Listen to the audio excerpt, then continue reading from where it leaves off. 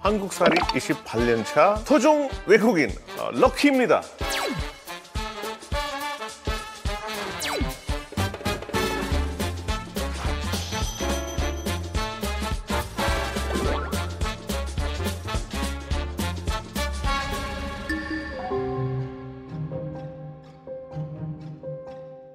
그 저희 외국인 같은 경우는 우리는 어떻게 보면 이 나라의 손님이잖아요. 당연히 눈치 없이 뭐 그냥 막 하하후후 해서 안 되고 피해 주지 말면서 아마 데벨롭하는 기술 중에 하나라고 생각해요.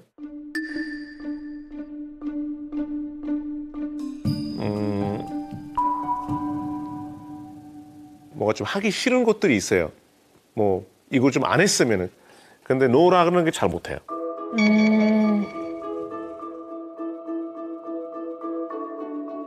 뭐 누구한테 이런 매뉴얼이 아니라 저만의 살아남는 생존심이라고 해야 되나? 그게 하나의 방법이에요.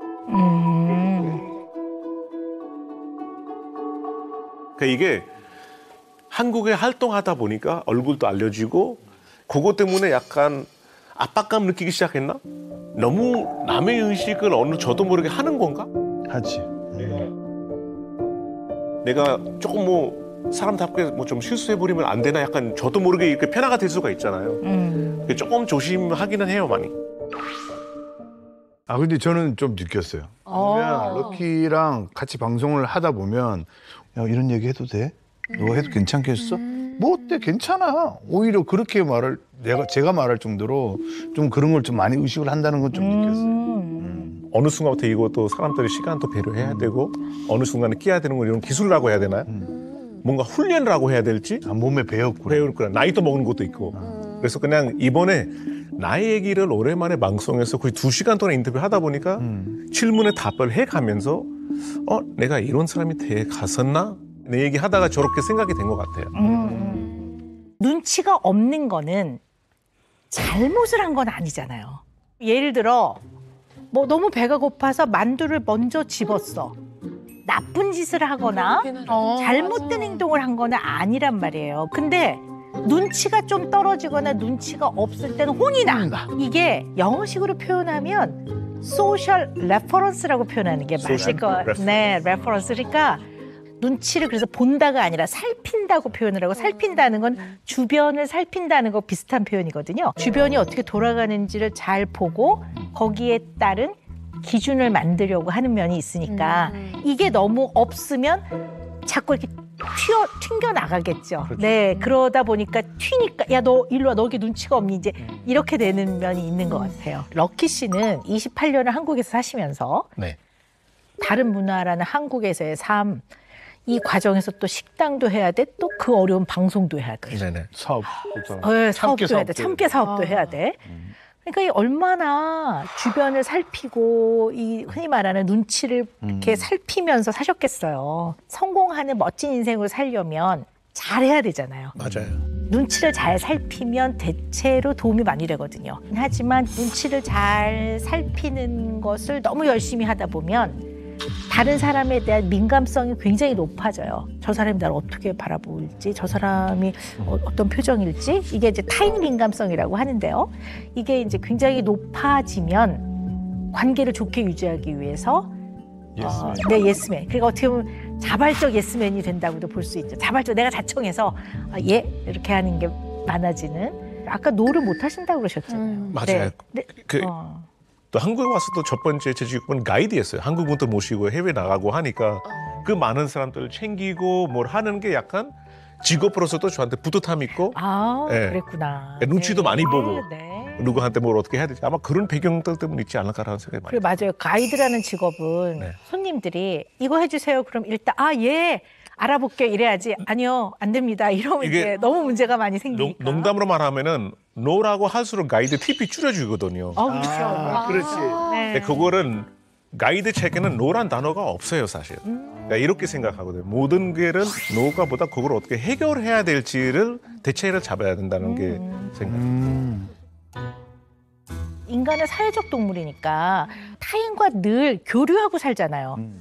그러니까 다른 사람이 좀 어떻게 생각하는지 이런 거를 너무 안 살피면 너무 많이 문제가 생기겠죠. 근데 다른 사람의 기준이 너무 많이 들어와 버리면 내가 늘 거기에 맞춰 살아야 되니까 내가 없어지는 거지. 그러니까 적당해야 돼요. 근데 이런 거죠. 이- 인도의 흐름이랑 제 스피드가 이제 한국에 되게 많이 맞춰져 있었어요. 아, 그러겠다. 그러니까 이게 근데 네. 인도 가면은 좀 여유로운 게 조금 부러워요. 음.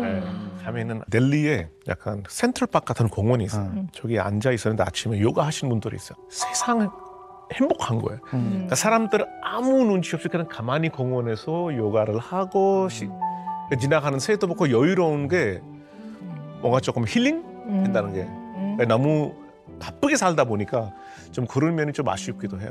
그럼 사실 28년을 사셨으면 이제 나이를 고려했을 때는 여기서 지낸 세월이 더 많은 많죠, 거잖아요. 맞아요. 맞아. 근데 여전히 그래도 내가 좀 이방인인가 이렇게 느낄 때가 있으실 것 같아요. 언제 그런 걸 느끼세요?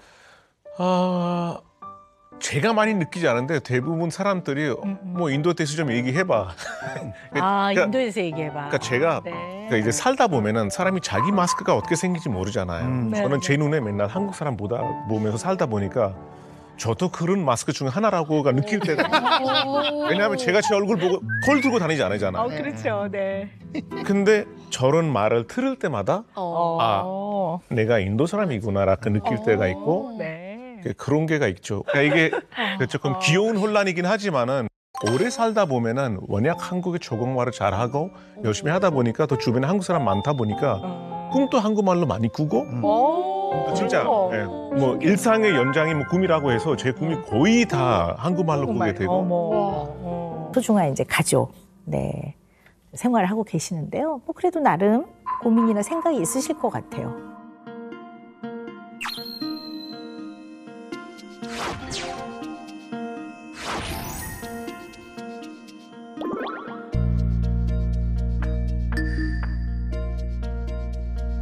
재혼을 하면서 제가 생각했던 부분은 그거였어요. 아이와 아빠가 잘 못 지내면 어떡할까?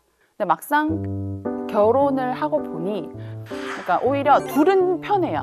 근데 제가 이건 제 혼자만의 생각인데, 저 혼자 불안한 거예요. 음.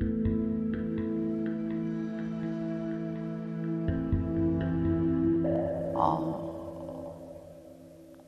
그러니까 아이의 입장에서 또 생각을 해야 되고 또 신랑의 입장에서도 생각을 하다 보니 제가 생각이 너무 많아지는 거예요. 이제 아이가 이제 막 밥 먹을 때 막 유튜브를 봐요. 그러면 이제 신랑은 밥 먹는 시간이니까 이제 밥 먹는데 집중을 했으면 좋겠다 했는데 애가 이제 거기에 정신이 팔려서 막 밥을 먹어요. 그러면 이렇게 혼을 내요. 어, 너 이제 유튜브 끄고 밥 먹으랬지? 목소리가 워낙 또 크시니까 이마 이렇게 하지 이제 어 깜짝이야 진짜 놀랐어.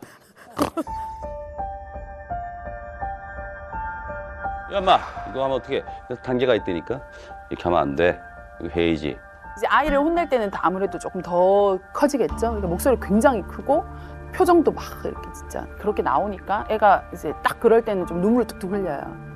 그럴 때 제가 아 이걸 어떻게 하면 좋을까? 아이 편을 들자니 신랑이 그래도 아이 생각하고 신경 써주는 게 미안해요. 그리고 신랑 편을 들자니 아이가 서운해할 것 같아요. 그러다 보니 정작 어떤 문제 상황이 생기면 결국 저는 입을 꾹 다물고 아무 얘기를 못 하고 있는 상황. 예, 그래서 어떤 입장을 가져야 되는지를 명확하게 잘 모르겠어요. 근데 우리가 진짜 밝아요. 너무너무 밝고 이렇게 재밌게 막 말을 또 너무너무 잘해요. 친구들도 막 어마어마하고 막 이렇게 막 잘 지내다가 이제 어떤 친구가 이제 이 친구한테 막 싸우다 그런 얘기를 툭 한 거예요. 뭐 너는 부모님도 이혼했고 뭐 부산에서 전화 가서 사투리 쓰자 뭐 이런 식으로 얘기를 팍 한 거예요. 아휴. 얘가 되게 상처를 받은 거죠. 근데 저한테 와서 얘기를 안 하는 거예요. 근데 이제 제가 나중에 물어보니까 이제 엄마가 이제 이런 얘기를 들으면 속상할까봐 자기는 얘기를 안 했다 이렇게 얘기를 하더라고요. 그러면서 사실은 조금 힘들어 했어요. 제가 봤을 때는. 제일 처음에 우리가 부부싸움을 했을 때는 되게 겁먹고 울더라고요. 저 가- 억장이 무너지는 거예요. 어, 너무 상처받았나 보다. 내가 두 번 다시 이런 일이 없도록 해야겠다. 라는 생각이 들어서 솔직하게 얘기를 했어요. 어, 애가 되게 상처받고 놀래더라. 그래서 웬만하면 애가 있는 앞에서 우리 잘 싸우지 말아요. 라고 얘기를 했는데 사람이 또 그게 안 되잖아요. 그래서 그런 부분도 사실 조금 고민이긴 해요. 근데 좀 궁금한 게 음, 음. 아들이 싸웠잖아요 학교에서. 사투리를 쓰냐는 둥 어, 뭐 재혼을 했다는 그 얘기 들었어요. 보다 뭐 그거는 일방적으로 그렇죠. 그런 빈정거린 거죠. 그렇죠. 그래서 뭐라고 그러셨어요? 한두명 반에 같은 애 두 명에 어떤 애가 이제 뭐안 음. 좋은 소리를 했대. 그래서 음. 누구냐? 그 얘기 정보를 드러났지. 그래서 음. 한놈 발견했어 내가 음. 그 앞에서 그래서 어, 네가 걔니? 그- 그래서 어 네가 키가 크고 등치가 크다 그래서 너보다 작은 애들을 이렇게 찍어 누르고 그러면 그게 남자다운 거겠냐? 그렇게 하지 말고 애들하고 잘 지내. 네가 힘세면 나쁜 놈들 나타나면 네가 좀 어, 걔들하고 싸워가지고 애들 지켜주기도 하고 그래야지만 네가 너보다 약한 애들 그 애들 괴롭히고 임만 음. 부탁인데 잘 지내라. 음. 아, 다시 한 번 내가 이런 얘기 들리면 정말 나는 그러기 싫은데 내 학교 찾아갈 수밖에 없어.